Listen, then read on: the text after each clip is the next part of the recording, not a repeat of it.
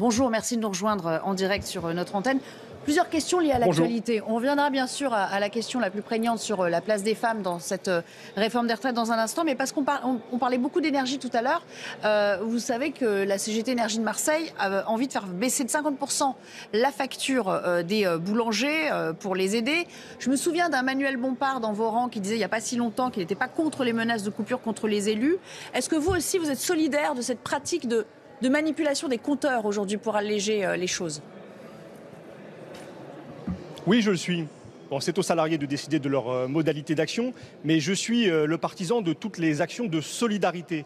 C'est dans le tous ensemble que nous allons euh, l'emporter et faire reculer le gouvernement. Donc tout ce qui concourt à fédérer eh ceux qui ont de bonnes raisons aujourd'hui de protester, de se mobiliser, de se mettre en grève, de manifester, va dans le bon sens. C'est bon que, en effet, la CGT vienne en soutien des boulangers. Les deux sont victimes du même gouvernement, des mêmes politiques euh, qui encouragent euh, le marché, euh, la mise en concurrence et qui pénalisent les Français, dont chacun le sait. Aujourd'hui, le quotidien est difficile, le pouvoir d'achat est en baisse et les inquiétudes sont grandes avec cette réforme des retraites à 64 ans. Oui. Donc vous donnez quitus à. Je crois que c'est Alexis Corbière qui disait l'autre jour. Nous, tout ce qu'ils entreprennent, on, sera derrière. L'intersyndicale, de toute façon, voilà, vous vous désolidariserez pas, quoi qu'il arrive. Non, on sera, en appui en effet de cette intersyndicale qui a lancé le mouvement euh, le 19 janvier euh, dernier, qui appelle à faire grève, à manifester le 31 janvier. Nous serons là, nous, la France insoumise, euh, ses députés, ses militants, ses sympathisants, dans les cortèges en soutien. Et ici, à l'Assemblée nationale, une opposition résolue au projet du gouvernement. Il est minoritaire, ce gouvernement, avec cette réforme qui ne fait que des pertants, qui propose au fond de travailler plus pour gagner moins. Il va essayer, le gouvernement, ici à l'Assemblée nationale, par les moyens les plus autoritaires, 49.3, 47.1, par le recours aux ordonnances peut-être, d'imposer euh, sa réforme.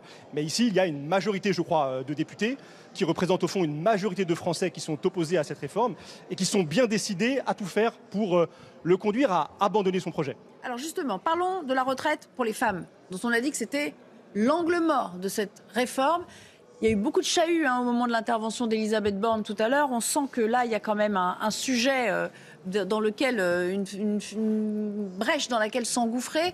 Euh, ça vous paraît complètement incohérent, cette place non faite aux femmes, en tout cas cette non prise en compte des carrières hachées en leur demandant de travailler plus? Mais on est tous perdants et les femmes en particulier, parce que vous l'avez dit, ce sont elles qui euh, subissent euh, les carrières hachées, les temps partiels imposés, et c'est donc pour elles que euh, d'obtenir ces 43 années de cotisation pour bénéficier de la retraite à taux plein va être le plus difficile. En réalité, la réforme que prépare le gouvernement pour les femmes, elle va conduire à ce que pour obtenir une retraite à temps plein, elles doivent travailler jusqu'à 67 ans c'est l'âge d'annulation euh, de la décote. 67 ans, imaginez pour euh, euh, les infirmières, pour les aides-soignantes, pour les enseignantes, pour toutes ces femmes au métier essentiel, c'est extrêmement tard. C'est beaucoup trop tard. C'est au fond mauvaise santé, des accidents du travail, des maladies professionnelles qui vont se développer. Et donc, elle est particulièrement injuste pour les femmes, cette réforme. Oui, c'est vrai. Il y a un seul ministre qui l'a reconnu, c'est Franck Riester. Pour les autres, il reste dans le déni, dans le mensonge. Il y a beaucoup de cacophonie aujourd'hui au sein du gouvernement. Merci beaucoup Paul Vanier d'avoir répondu à nos questions.